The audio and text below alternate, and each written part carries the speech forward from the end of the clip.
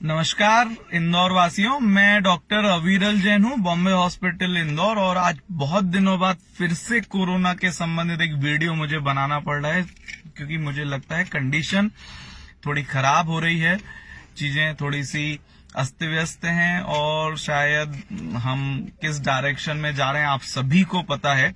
एक छोटे से एग्ज़ाम्पल से स्टार्ट करना चाहता हूँ, ताकि आप समझें आप यदि इंदौर की या किसी भी शहर की फ़ेमस होटल में जाते हैं, जहाँ पे आपको 40 लोगों की बैठने की व्यवस्था है और संडे के पीक डेज़ में पीक आवर्स में यदि वहाँ पे 150 लोग हैं तो ट्राई टू अंडरस्टैंड कि होटल वाला सिर्फ़ 40 लोगों को बिठा के खाना खिला पा सकता है। बाकी जो 160 लोग वेट कर रहे हैं दे आर वेटिंग आउटसाइड और उन 160 में से शायद कुछ ऐसे भी हो जिनको बहुत ज़्यादा भूख हो।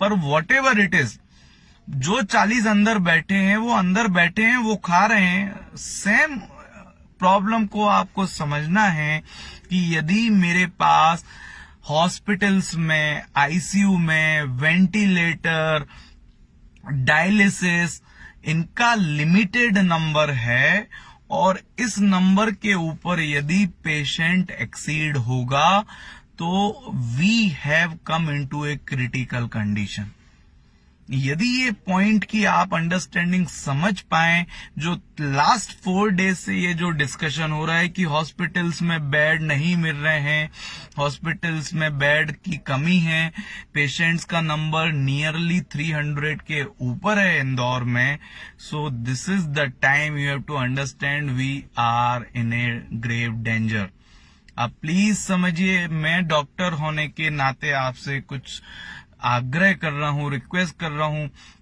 See seven month I am continuously working nearly daily operating one और two patients high risk patient ऐसे पेशेंट जिनको ऑपरेशन करने की ज़रूरत है, फिर भी अपनी लाइफ रिस्क करके वी आर ऑपरेटिंग बट आप इंदौर वासियों को ये चीज़ समझना है अर्जेंट बेसिस पे समझना है कि हम यदि नहीं संभले इस स्टेज पे we are going towards doom हम बिल्कुल एक खतरनाक स्थिति की तरफ़ जा रहे हैं। आप सभी लोग इस चीज़ को समझें। सुबह आता हूँ गार्डन में लोग घूम रहे हैं, सब्ज़ी वाले मास्क नहीं लगा रहे हैं, सब्ज़ी वालों के ठेलों में भीड़ है, होटलों के बाहर भीड़ है, पानी पतासों वालों के बाहर भीड़ है, जे रोड में भीड़ है।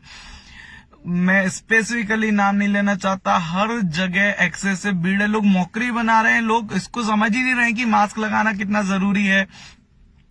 इवन आप एक साड़ी लपेट सकते हैं। आप गमछा लगाइए।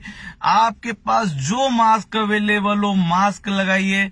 ये छह महीने में एक चीज़ तो हम समझ पाए हैं कि इस बीमारी से जो सबसे बड़ा प्रिवेंशन है इज़ मास्क यदि एक कोरोना पॉजिटिव पेशेंट है, उसके ड्रॉपलेट यदि दूसरे तक नहीं पहुँचेंगे तो शायद इस बीमारी को मैं रोक पाऊँ।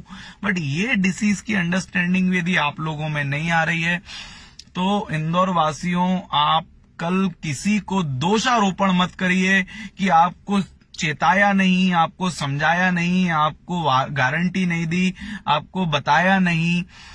संभलने के लिए अब बहुत फाइन मार्जिन बची है। यदि हम नहीं संभले, ध्यान रखिए, मेरी बात याद रखिए, शायद हम बहुत कुछ खो सकते हैं। हमारे माता पिता बुज़ुर्ग, परिवार सास ससुर फैमिली मेंबर्स सभी अपने लिए प्रिय हैं। सभी अपने लिए प्रिय हैं। थोड़ा दो मिनट सोचिए, क्या ये काम आपको करना ज़रूरी है? क्या सुबह गार्डन में जाके घूमना ज़रूरी है? क्या आपको जेल रोड में जाके मोबाइल अर्जेंट खरीदना ज़रूरी है? क्या आपको ये करना ज़रूरी है? क्या उसके बिना आपका जीवन रुक सकता है, रुक रहा है, या आप उस चीज़ को कुछ टाइम के लिए अवॉइड कर सकते हैं? मैं बोल रहा हूँ, पागलों जैसा बोल रहा हूँ, आपको निग्लेक्ट करना है, करते रहिए। डोंट ब्लेम डॉक्टर्स कि उन्होंने आपको बताया नहीं, चेताया नहीं, समझाया नहीं। इंदौर वासियों अभी भी समय है, आप समझ जाइए, मैं डॉक्टर अविरल जैन, बॉम्बे हॉस्पिटल, इंदौर।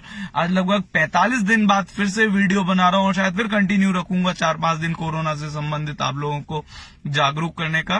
पर प्लीज़ ध्यान रखिए, अपने परिवार का ध्यान रखिए, दूसरे का ध्यान रखिए। Thank you thank you very much doctor Ravi Ranjan Bombay hospital, Indore.